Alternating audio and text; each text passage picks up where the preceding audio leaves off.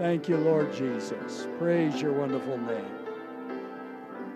Thank you, Lord Jesus. Thank you, Lord Jesus. You may be seated.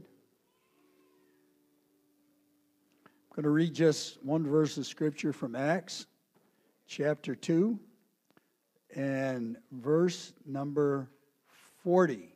You realize this is after the Holy Ghost has fallen on the 100 and, about 120 in the upper room, and Peter standing up rather than slinking away. And um, the and uh, following what must we do? Then Peter continued preaching for a long time. I'm not going to do that tonight. Then Peter continued preaching for a long time, strongly urging all the listeners save yourselves from this crooked generation. Save yourself from this crooked generation. I'll talk to you about the bottom line. The bottom line. I leaned over to my granddaughter and I said, If the Lord came back right now, would you be a little girl over in heaven? I said, The real question was, well, would I be an old man over in heaven? Isn't it interesting? Out of all of the preaching, he turns around and looks at them and says, Save yourself from this crooked generation. I thought he was our Savior. Well, let me put it to you this way Can you choose not to be saved? So if you can choose not to be saved, you can also choose to be saved. So he's not trying to infer that we do not need a Savior. But he's also saying it is really critical what your choice is going to be as the pressure's on, as the circumstances, as the confusion reigns, as all the things that happen in this world. What's interesting here is that the same man who had the keys to the kingdom that Jesus said he would have made this statement that it's possible for us to save ourselves from this crooked generation. God has never told us to do something that we can't do. The bottom line, the bottom line. By the way, you can't save one other person your children, your wife, your husband, your mother in law, your whatever. You can't save anybody else. He didn't save, save the world because Jesus is a Savior. But he said, he said it's going to be critical that one understand that the responsibility lies with the individual. The only thing standing between you and eternity in heaven is you. If you put somebody else in that position between you and God, you put him there. God did not. People have effect upon people. But the bottom line is save yourself. Save yourself. I would think you would be encouraged.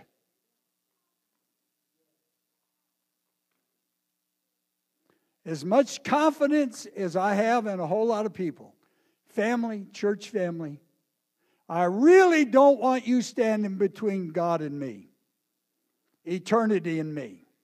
And what Jesus did at Calvary is he purchased back for us that is no longer the prophet, no longer Moses, no longer someone else.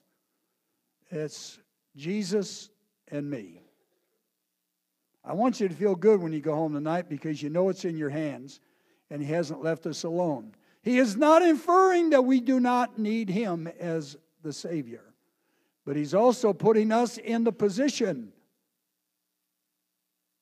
that if you're listening to the wrong preacher, it's your problem.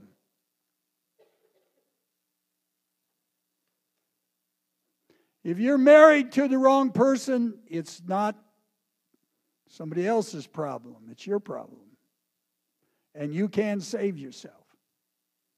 No matter what circumstance that you face, whether face, whether it's health. By the way, the Lord saw you running tonight, not walking. I saw you running, and the Lord saw you running. I said to myself, I wonder if Keith's having a problem. Then I read, no, he ain't. He's running around the church. I, I'm not just digressing here. When you know what you want to do and you can't do it, do something. Do something. Save yourself. Save yourself. Now, the things I'm going to bring to you are not all inclusive, but they are important in this saving ourselves from this untoward generation. When you read about the signs, you know, the disciples wanted to know when's the Lord coming back and when his kingdom coming in. And then the Lord said, It's not for you to know when I'm coming back. And then he gave them some signs.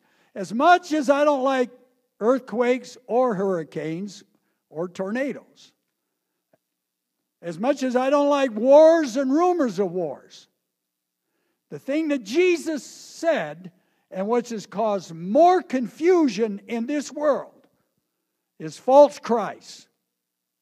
Now, who would be, if I stood up here and said, I want you to know that I'm going to reveal myself to you tonight, I'm Jesus. I've come back and I'm Jesus. There isn't a person in this place, even though you love me. You'll probably get concerned for my wife that she's leaving, uh, living with somebody that's off his rocker and that. But you're not going to believe somebody saying they're Jesus. But if you're not careful, you might believe someone who is purporting to preach Jesus and is not giving you the word.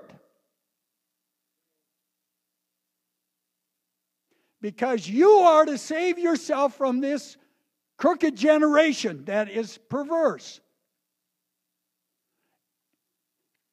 God has also empowered you that you can do it. And Satan is trying to come forth with false Christ, saying, Well, this really isn't necessary, even though it's in the Word. It's important to hide the Word of God in your heart, not just so you can Bible quiz. So that you can save yourself from the false Christ of this world. Even if one would show up in this pulpit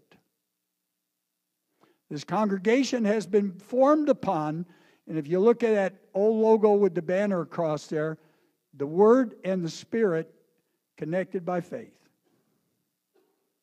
The Word of God, you can know the Word. God will give you the Word. False Christ, He said they're going to be false Christ. Everybody points their finger at God and says, Why are they putting up with all this confusion? Why is God putting up with all this confusion? Because people are making choices. Do you really want God to step in and destroy these false Christs prematurely? When He does, He's taken away your choice. But we have to know.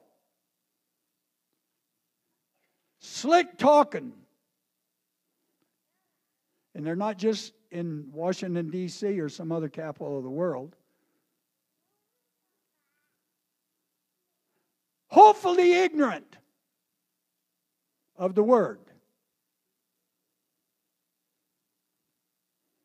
But how you're going to save yourself from this crooked generation is be founded on the Word of God. Your life. Parents, you are responsible for your children, but they grow up. Hopefully, He puts some things in their heart and discipline and all the things, the authority that God has given you but they grow up. Now, Vince, the world says you got four more years and then you're an adult. Think your mom and dad will say, well, maybe eight or nine? Whatever. There's increased responsibilities. False Christ. And who's going to save you? Is the preacher going to save you from false Christ? No, you're going to save yourself. Who are you listening to? Who are you listening to? Because someone has a nugget of truth doesn't know does not say they don't have some poison in their tongue. And there's no one that can say they know the book like God wrote it.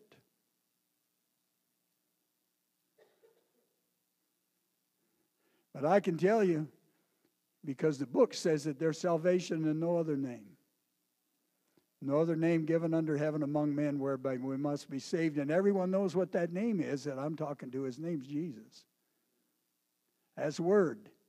When you take baptism out of the salvation plan, you've just revo- removed not only his name, but his blood. When it isn't necessary, but just a symbol of faith. And that's just one example. false Christ. And whose responsibility is it to find out who you're going to listen to? Save yourself.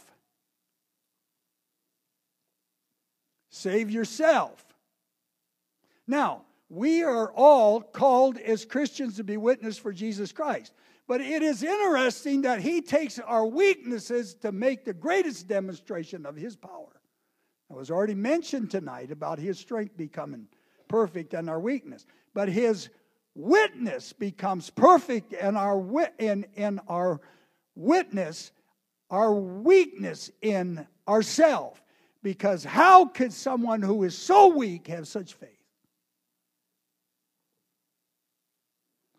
Because it is not just a test of faith, but it's also a test of salvation. Is there a circumstance too big for God? No. Is there a circumstance too big for us? He's saying, not so in him. And in fact, it says he will not put on us anything that's too heavy to bear. I can't imagine being in a log, Isaac, in a log, and uh, saws cutting the log, and I know it's coming to cut my middle section. of the What Holy Ghost power those folks had. Same Holy Ghost we've got. Nothing that he says he won't be in the midst of it. Why didn't he strike the, the king dead and elevate Daniel or one of the Hebrew children as ruler over all of Babylon? No, he just walked in the fire with them. I'm talking about the bottom line. The bottom line is you can save yourself because of him but you must make that choice. And the biggest battle is promises that aren't based upon the Word of God. You don't hear very much anymore about prosperity. The reason, if you'd heard the message this morning from a prosperity standpoint, it would have been this you want to tithe and give offerings because then you can get rich. The very nature of the thing that would destroy us greed. There were a lot of folks bought into that. I'm tired of being poor. I'm going to be prosperous. And so I'm going to bribe God. And yet, the Lord counteracts greed by giving. Not giving out of necessity, not giving grudgingly, not giving out of the because there was pressure. You give willingly, cheerfully counteracts greed. When you're thinking about Jesus, it's hard to think about things. And so it is to save ourselves, we have to realize we're going to, in the latter days, Jesus said there would be false Christs, and we're experiencing them. Well, preacher, how about you make a list of all the pri- uh, false Christs in the community? No, you make the list. I have.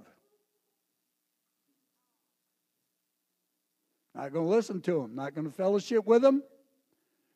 I'll minister to them. I'm not going to cut them off. When you resist, you see their false message. They'll cut you off. You know when you came to the Lord and all your drinking buddies, they cut you off, didn't they? Did you cut them off? You just didn't go drinking with them. And they cut you off. At least mine did.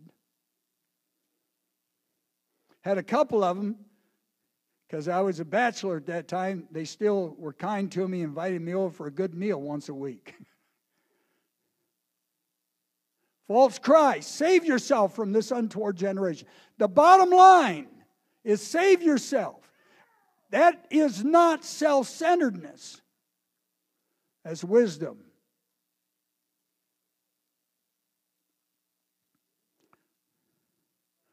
The Spirit of God, Jesus said, is expedient go away because I'm going to send him back. I'm going to come back. I'm coming back in spirit, so I'm not limited by any flesh, and I can be with and in all of you. I can be throughout the world, seven billion people, six to seven billion people. Don't overwhelm me. I can be with every, and we all have our story about how the Spirit of the Lord touched our life, don't we? And it's precious to us. Don't forget that story. Because this is the nature of the world. The nature of the world is not what I have done for you, but what are you doing for me now?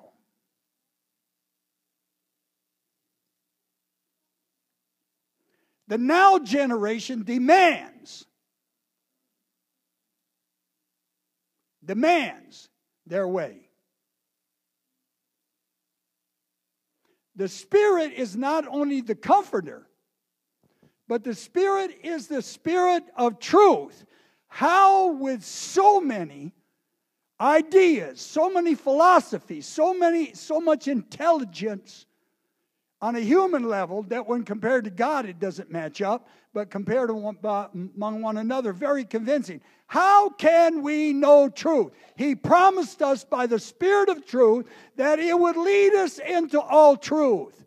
We need the Spirit. The Spirit is under attack because it is by false Christ saying it's just for some of us, special people. And we're all special people. We need the Spirit.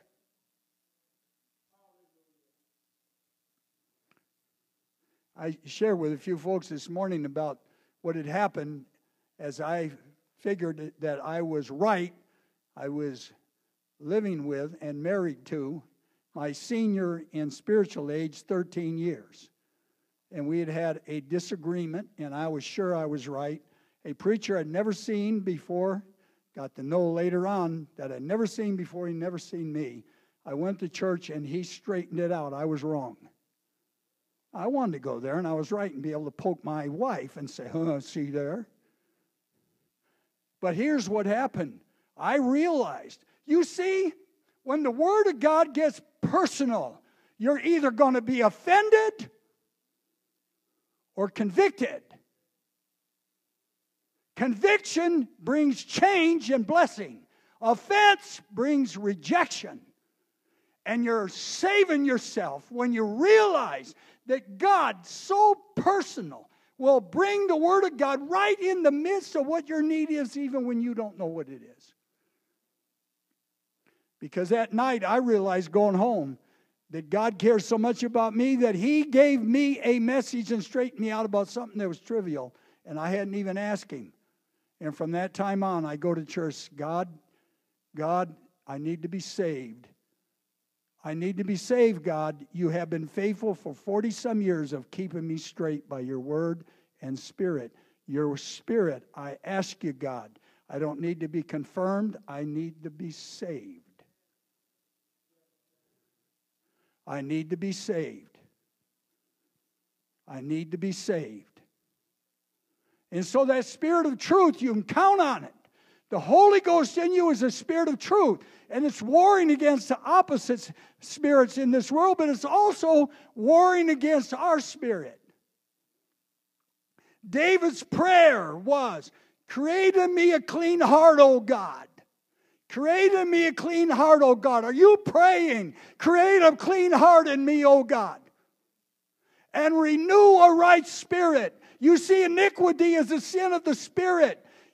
Satan just does not want to corrupt our soul. He wants to corrupt our spirit so that that spirit, that iniquity, keeps us separated from the spirit of truth. And so the Spirit of God has been given to us that we can save ourselves. Without His Spirit, we would be confused, we would be deceived, we would be delusional without His Spirit. Because evil men and seducers are waxing worse and worse. And so, you save yourself by engaging His Spirit. There isn't anything in this world, and I, I, I had enjoying times in human endeavor in a number of activities uh, within my life.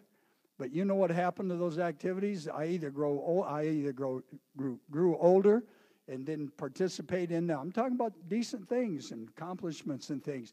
But one thing about everything that was accomplished in this world, it just grew old and didn't have the same significance. Not in the Lord. It's as if it's the first time when I feel the Spirit now touching me. And He's touching you. It needs to be fresh and vibrant. It is not some gimmick, it's not learning some new language. It's entertaining His Spirit because He's the Spirit of truth and He wants to empower you to save yourself.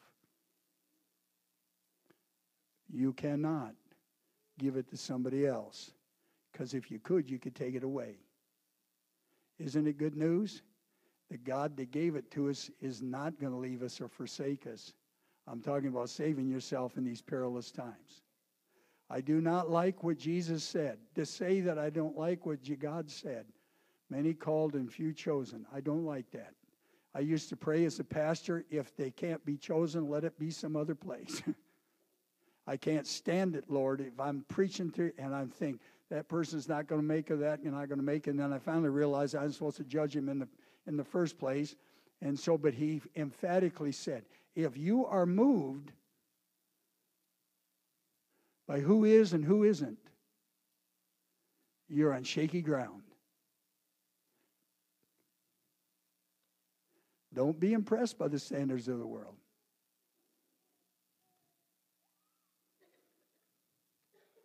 Don't be impressed. If someone else becomes your, your source of truth rather than Jesus. And we've come to support one another and be kind to one another and so on. But the Spirit of truth has come not to lead us into falseness, but in the writings says we can grieve that Spirit. I don't want to grieve you, Jesus. Create in me a clean heart, O God. Renew a right spirit within me, God. When my attitude gets out of shape, I'm not going to blame you. Maybe for a few seconds, maybe a few minutes, maybe a few days, but eventually it's going to come back where it needs to roost. It's me, O oh Lord, it's me. My heart is fixed, O oh Lord, my heart is fixed. Create in me a clean heart, O oh God, and renew a right spirit. I'm talking about the bottom line. The bottom line isn't how you're functioning in the church, whether you're a big toe or an earlobe or the heart it, or the brain. You're really not the brain because he's the head. It isn't. The bottom line is save yourself.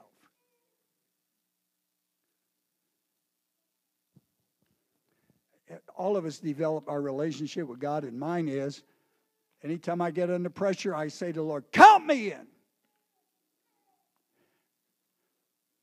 I don't need to understand, but count me in. Not quitting, not knuckling. It would crush me, and it does as a pastor, to see one of my brothers or sisters walk on Jesus. But I'm not quitting. Count me in. Because if I feel that bad, how bad is Jesus feeling?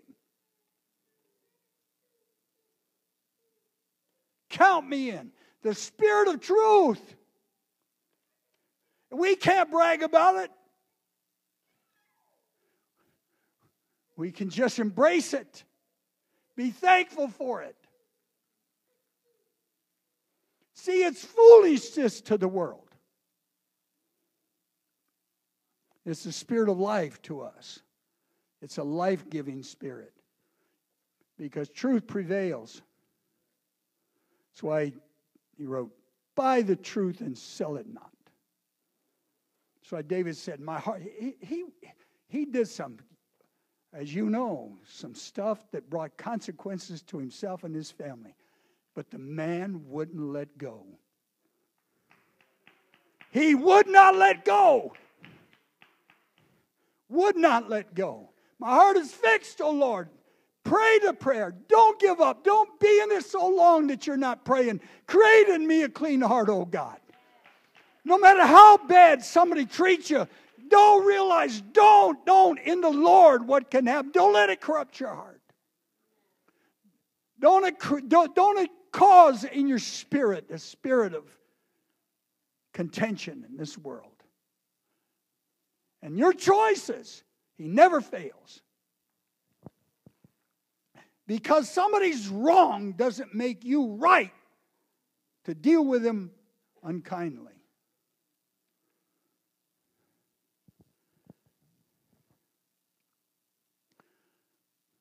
Third thing, this isn't all inclusive, but I know it works. By the way, miracles don't, don't convince anybody. Pastor brought us you know, the principle of beating greed this morning. And absolutely, absolutely, absolutely, you see. But miracles don't move people. I've watched folks have, I mean, an individual new in the Lord came to me and said, without teaching, but had read in the Bible. I see that God wants me to give tithes and offerings, but I'm in such a bad shape in back debt and things. What I what I need to do is I need to keep a record of what it is, what it, I owe. And when I get settled, when I get it figured out, then I'm going to start paying it back to the Lord. And I just said out of the blue, why don't you give God a chance and for the next two weeks, tithe? Put it to the test. Received a check unanticipated, not anticipated in any fashion. Received the check that wiped out all the debt And that man's not serving God tonight, as far as I know. If he was here, I wouldn't be doing this. And you, hey, we've only had five to seven thousand people come through these doors, and so if you can figure out who that man, I, I did let you know it was a man. Miracles don't do it. In the same service, Ethel and Jean Swartz Ethel Stike and Gene Swartz in a service of about 15 people with missionaries.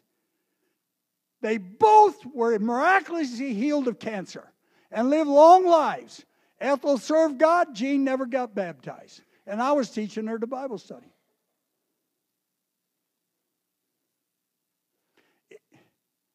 Miracles don't do it because you got to save your own self. And I, these signs follow believers, they don't precede them. And I believe in miracles.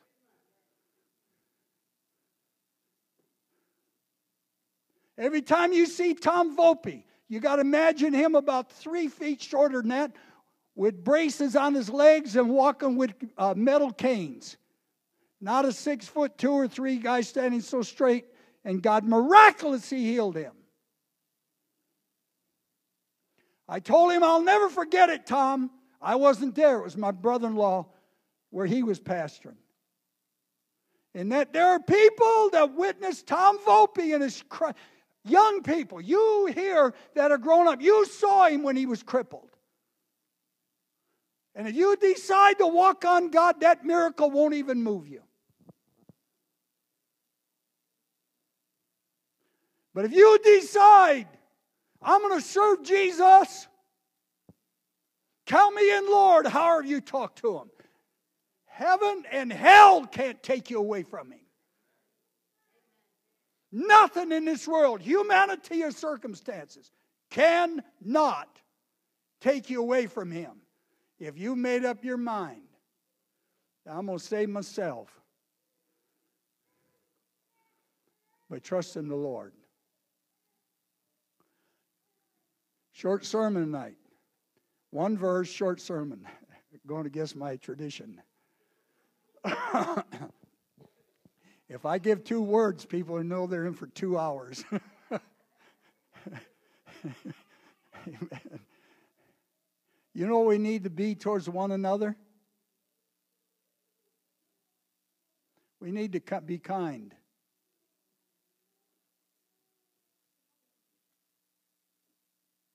Now, there's some teenagers going to listen to me now because what they're going to say to their parents when they're putting squeeze on them is, Give me space because the preacher said so. I didn't say that.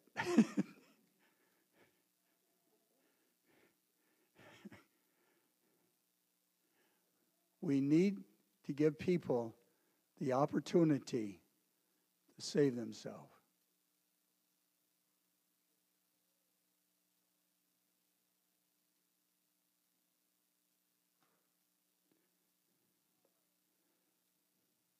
And people have problems. That's why there's a church.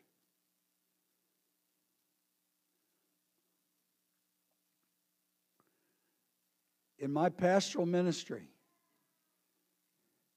many, many times, and I'm not going to say all the time, people came to me for one or two reasons.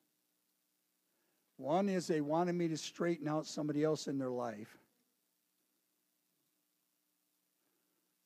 Or they wanted me to take full responsibility for the mess they were in.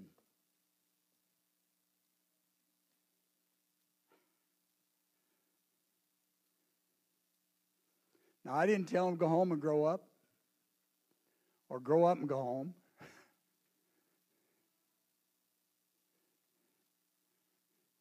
want be kind to one another.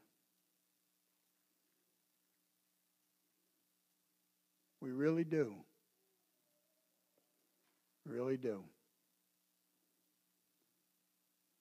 You don't know what's going on in the heart and life of a person.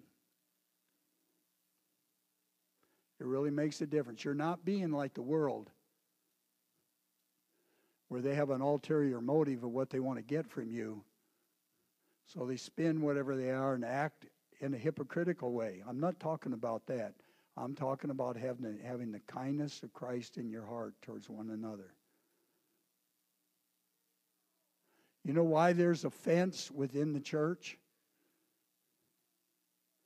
because Christians become offended. Isn't that a wonderful definition? they take it personal. That's why Jesus said if somebody comes up and smacks you on the cheek, turn the other one. Don't take it personal. Say, he just hit me. I'm glad he only said twice.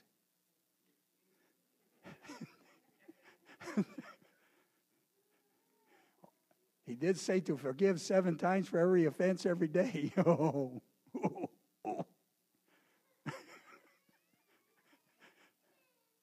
you don't know. You do not know. You don't know what they're going through. I'm not talking about condoning uh, uh improper behavior. You don't know. I know What am I talking about? Saving yourself.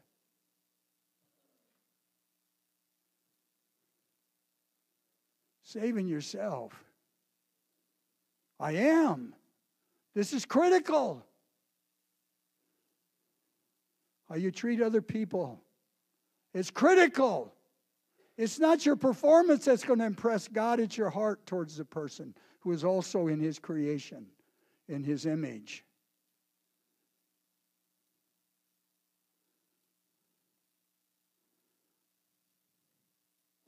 because they're one of His too. And they have to save themselves.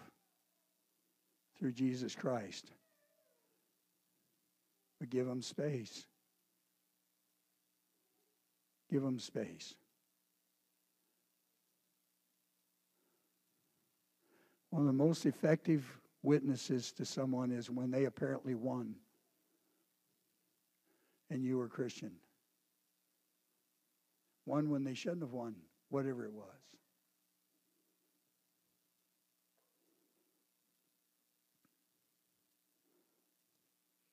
Because we're living in a world that's really hurting.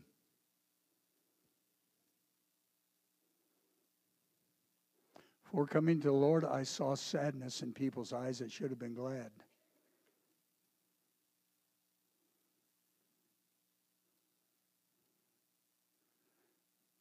Knowing how to hold a cigarette properly and hold a mixed drink and look like you're know what you're doing in a country club setting was the saddest place in my life.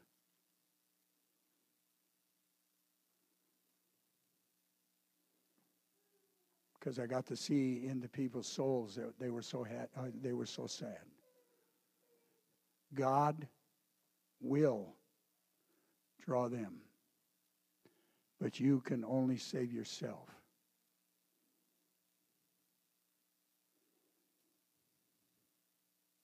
Seven days in a boat that nothing's happened. Seven, eight people and Noah was a preacher of righteousness for how long you been preaching, Stan? Since 96 or something like that. 17 years. 17 years. Noah preached for 100 years. He didn't get a convert except his family. Ooh, ooh, ooh, ooh, ooh, ooh. ooh.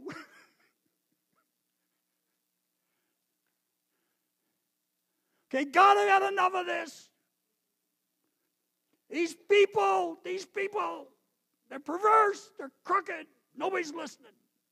Keep building the boat. Hey, God, you're not listening to me. Nobody's responding. You know what boat you're building? Your life. Keep building the boat. Be kind to people. Their vim, their vengeance, their wrath My response when somebody's tailgating me and I'm going the speed limit is to slow down real slow, let them pass me, and then run my car into them. now I'm just telling you what I. If they knew the old me, they wouldn't mess with me.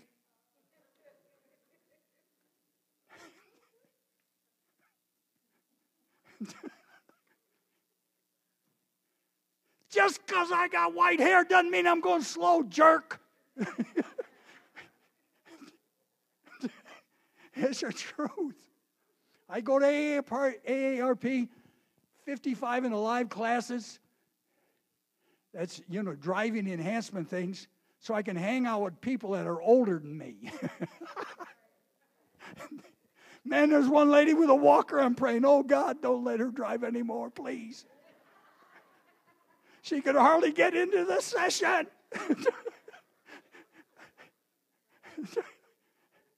no, don't let her drive anymore, Lord.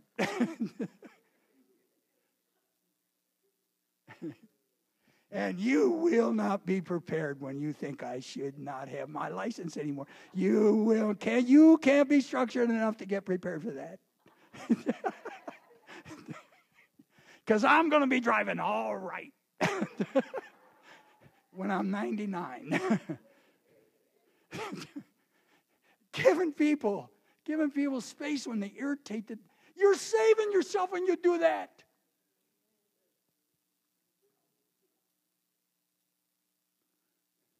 Young people, when you're living modest, you're, you're, you're dressing modestly and you're trying to conduct yourself right, and they're hassling you about it. It's not about you, it's about your God and you have an opportunity to stand up and not curse them or spit in their face or something, which you like to do. Hey, you know, girls didn't fist fight in my day. Hey, D, holy smoly. If I, I think of some about those Amazons that I went to school with. I would never in a fight with those girls. A is craziness. But they're human being. They're a human being. They're a human being. And when you treat them right, you're saving yourself. It isn't because of our works, it's because what you're doing is you're having a heart of Christ. Do you realize just three days before his crucifixion? I think it was three, whatever time it was this time, maybe it was shorter than that. Doesn't matter. They're hollering because they think David's come back. They think Israel's going to be uplifted instead of being destroyed by Rome. Triumph, even though he's on a little donkey and they're spreading palm leaves and things. And they turned on him. And his disciples rejected him because they were so afraid. And he could have taken himself down because they couldn't take his life. He gave it for me and for you. You're not sure the miracle is going to take place. And I got story upon story upon story, which I'm not going to, I could make a couple sermon. They could never be saved. What happened, though, in the midst of it? In the midst of it.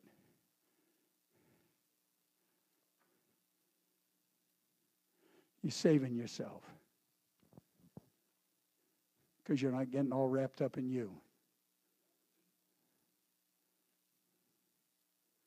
So we're not hypocrites. We do really care.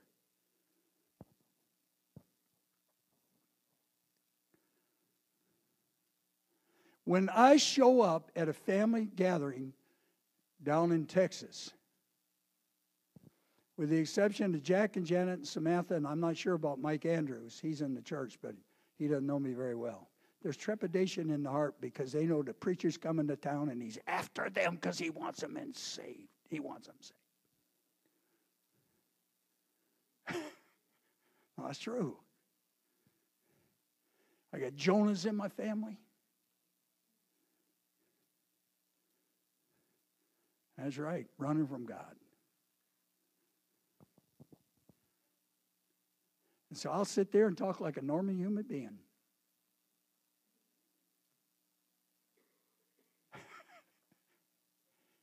Because you know why? I want to save myself, and God's going to get them. God's going to get them. They might ask the right question. I might be involved, or somebody else might, but God's going to get them. They're going to have a chance. They're going to have a chance. Putting people ahead of self, even your enemies. Now, I want you to know I did not grow up. Neither that preacher back there. We did not grow up loving our enemies. They knew. They knew. I wasn't as big as him. And I don't know if even if I had as much energy in, but I had plenty of it. I didn't love my enemies. I took care of them. That's my nature. Melvin, I'm just being honest tonight, buddy. And hey, my nature is not to love my enemies. In fact, my nature isn't even to love my friends sometimes. That's a nature in me. But oh, I want to be saved.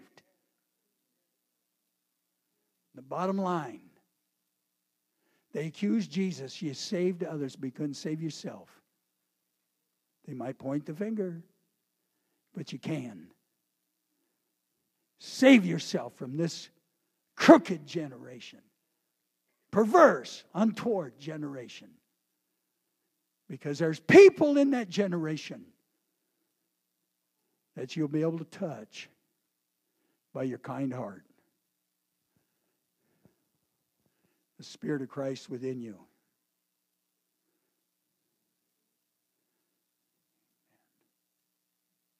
I've even got under conviction when the guy passes me on the right and I'm parked next to him at the next light. And I'm going, ha ha ha. No, I, I even under conviction about that. kind to people because they're God's creation. I'm talking about saving yourself. You can't hold a fence.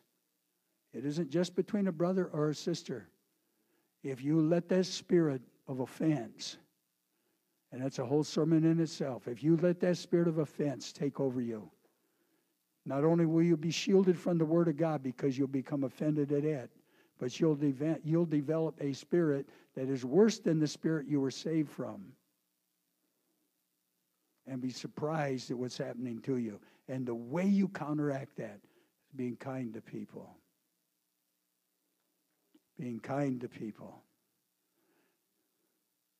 And it's the best way to live. The best way to live.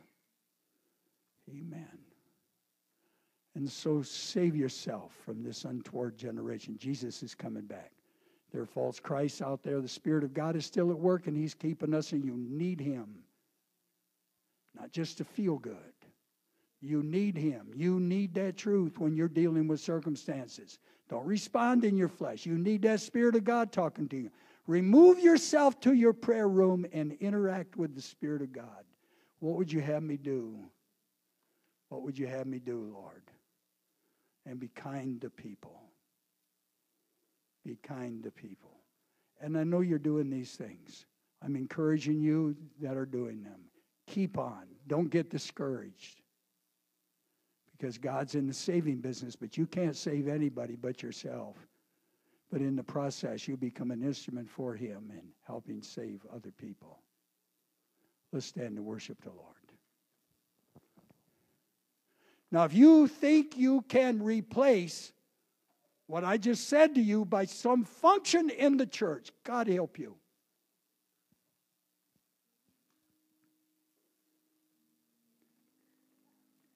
That's not our value. And I'm not telling everybody quit where they're volunteering doing something for God. Do it for the Lord. That is not where it's at. It's not where it's at. Not where it's at. It isn't.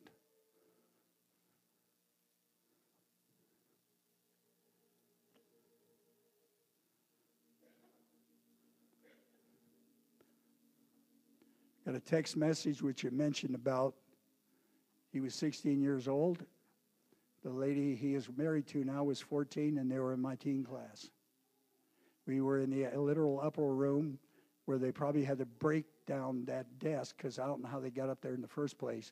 But we had an upper room, and that's where Stephen's mother, because I said that's where she learned how to minister to teenagers. And he learned how to lay on that desk and drink his bottle and be quiet. I got a text message saying, Merry Christmas. How's the pencil pusher doing?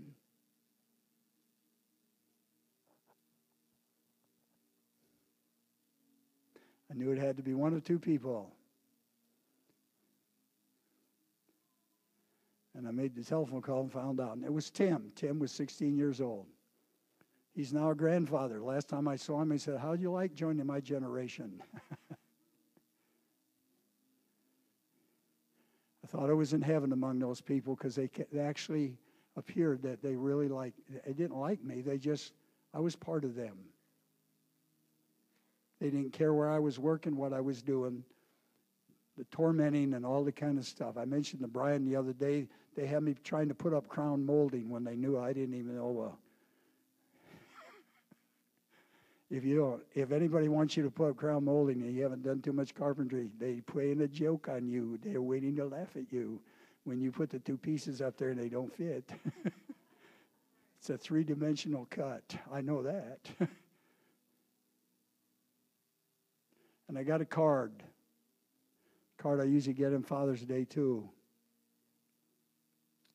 Her name's Tilly Bruce. She was raised by her great grandmother, her grandmother at least. Tilly's one of my girls. She's an African American young lady that has been living for God from the time of her teenage years. A preacher's kid and a kid that really didn't have a chance. They're both serving God. And I had an opportunity to be a little bit a part of their life. When you look back, that's what you want to look at. A Christmas card from a young lady who has forgiven you for leaving her in Keyser, West Virginia, and coming to the East Coast. Because she is one of the teenagers that I had to tell that we were leaving when we had to wake in my living room. That's where it's really at, being kind to people. Being kind to people. And I can look back and I can tell you, it's been a major instrumental part of the life. Because it wasn't about me, it was about them. And I've reaped some benefits from it in relationships that are going to bring us to heaven together, even though we've been separated. Oh, I encourage you tonight. God wants you. He's no respecter of person. Be kind to people, and you'll find out you'll have a word. You, every, every part of the body ministers to itself. It does. And what you'll find out is when you're putting people first, your ministry in the body will just make room for itself.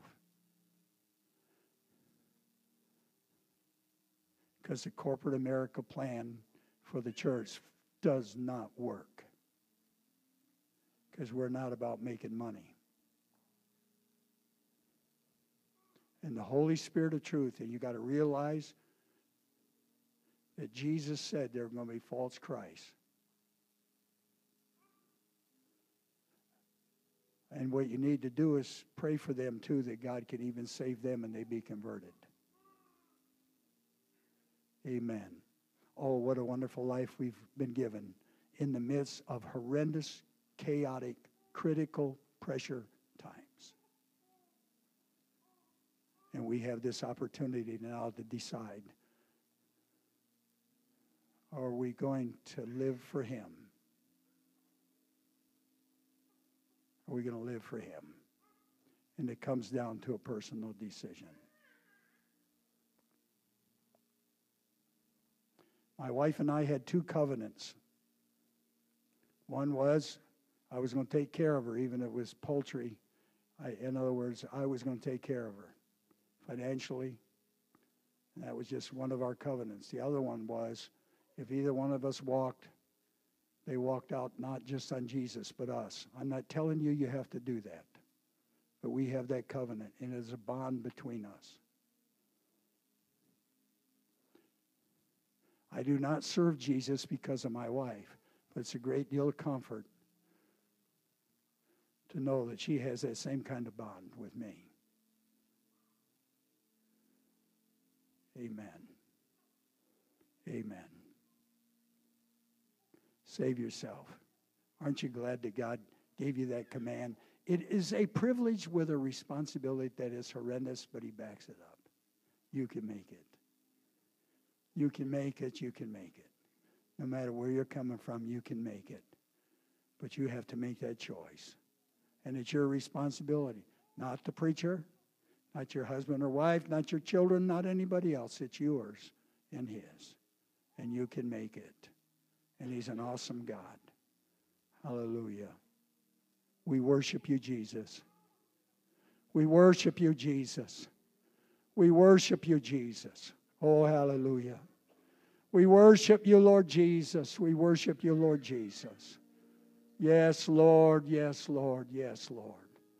We praise you, wonderful Savior. We praise you, Lord. We praise you, Lord. Oh, hallelujah. Be the source of love in a world that is so self centered about itself. Be a source of love for other people. Thank you, wonderful Savior. We worship you. We magnify you, Lord. You're an awesome God. You're an awesome God. You're an awesome God. You're an awesome God. Oh, hallelujah. Hallelujah. Hallelujah, hallelujah. Thank you, Lord Jesus. Thank you, Lord Jesus. Thank you, Lord Jesus. Thank you, Lord Jesus. Thank you, Lord Jesus. Oh, hallelujah, Lord Jesus. On this Sunday night, how about if we, and this isn't a gimmick, what I'm saying, but it would be nice that we walk together. Let's join together up in front. Don't kneel. You don't have to. You're already submitted. But that we have a bond of peace and of joy and hope and love for one another as we go about the Father's business in, in 2013. And God will not let you down if you put others ahead of yourself. He will not. He will bless you mightily because that's where his heart is.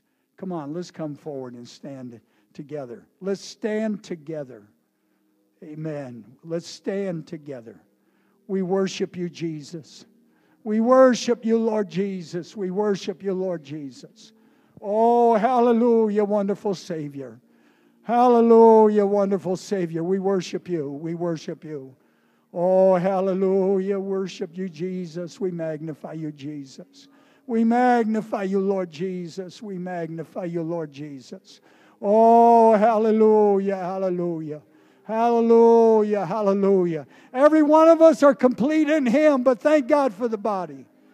Thank God for the family of God. Thank God for one another. Oh, hallelujah, hallelujah. Yes, Lord, we worship you. We magnify you, Lord Jesus. We magnify you, Lord Jesus. We magnify you, Lord Jesus. We magnify you, Lord Jesus. Oh, hallelujah, hallelujah, Jesus. Hallelujah, Lord Jesus. We worship you. We praise you, Lord. We praise you, Lord. We praise you, Lord. Oh, hallelujah, Jesus. Hallelujah, Lord Jesus. Hallelujah, Lord Jesus. Hallelujah, Lord Jesus. Hallelujah, hallelujah. Hallelujah, hallelujah, Jesus. We worship you. We worship you. We praise you, Lord. We magnify you, Jesus. We magnify you, Lord Jesus. We magnify you, Lord Jesus. Oh, God, we praise you and honor you, Lord. Oh, hallelujah, Jesus. Hallelujah, Lord Jesus. Hallelujah, Lord Jesus. We worship you, Lord. We worship you, Lord. We praise you, Lord. We magnify you, Lord. Thank you for one another, Lord. We thank you, Lord Jesus. We thank you, Lord Jesus. Oh, hallelujah, hallelujah. Thank you, Lord. Thank you, Lord. Thank you, Lord. Hallelujah, hallelujah, Lord Jesus. We magnify you, Lord, and worship you and praise you, Lord. We praise you, Lord. We praise you, Lord. Oh, hallelujah. Oh, hallelujah, hallelujah, Jesus. Yes, Lord, yes, Lord, yes, Lord. Yes, Lord, we worship you, we worship you. We worship you, Lord, we worship you, Lord. Oh, hallelujah, hallelujah, hallelujah. Thank you, Lord Jesus. Thank you, Lord Jesus. Thank you, Lord Jesus. Thank you, Lord Jesus. We magnify you, Lord. We magnify you, Lord. Oh, hallelujah, hallelujah. Thank you, Lord. Thank you, Lord. Thank you, Lord Jesus. Thank you, Lord Jesus. Thank you, Lord Jesus. Thank you, Lord Jesus. Oh, hallelujah, hallelujah. If you're facing challenges, which we are in this coming year, some needing jobs, some needing healed marriages, some needing all sorts of healing for the body, circumstances, I want you to know save yourself. He'll take care of you. He will. He'll take care of you. Have faith in God. He'll take care of you. And stay connected to the body. We can't save each other, but sure glad to have a family of God that cares about one another. Not perfect in any stretch of the imagination, but the love here is. Amen. Hallelujah. Hallelujah.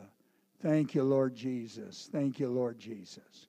Thank you, Lord Jesus. Thank you, Lord Jesus. For two or three years in my first, I felt the fear that this was going to fold up. I'm talking not here, I'm talking about when I came to the Lord, that it was going to fold up and I'd be left desolate alone again. I got good news for you. Got good news for you. 43 years later, it ain't folded up. And it's real. It's real. Nobody can force you to do it, but also nobody can force you not to. He's put it in your hands. And what a fellowship, what a joy divine, leaning on the everlasting arms. It's a song, but it's true. Hallelujah. What a fellowship, what a joy divine, leaning on the everlasting arms.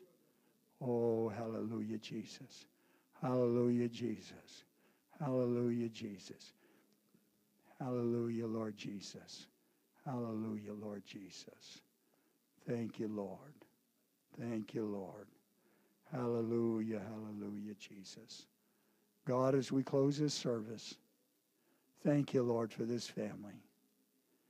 Thank you, Lord, for this family. Thank you, Lord Jesus, for the family of God throughout the world. And oh God, our heart beats like yours, Lord. Give us souls lest we die. Yes, Lord Jesus. Touch the lost, Lord. Nothing impossible with you. But above all else, as the song says, I must be saved. Yes, Jesus. Thank you for purchasing that at Calvary. And God, thank you for the fellowship of believers, Lord. Oh, thank you for your presence, Lord. Yes, Jesus. Yes, Lord Jesus. Yes, Lord Jesus. Thank you, Lord Jesus. Oh, hallelujah. Thank you for this peace, Lord. Wonderful Savior. Wonderful Savior. Oh, hallelujah. Thank you, Lord. Thank you, Lord. Hallelujah. Hallelujah. Hallelujah. Isn't it wonderful? I don't have to make the announcement. Don't drink too much. I should say, don't eat too much. Is it, you know, we, you know, you know, God bless you. Amen. The days when the day of the Lord, 2013 is going to be the year of the Lord, too. Amen. I'm not saying he's coming back, but he's going to be here with us. God bless you. Amen.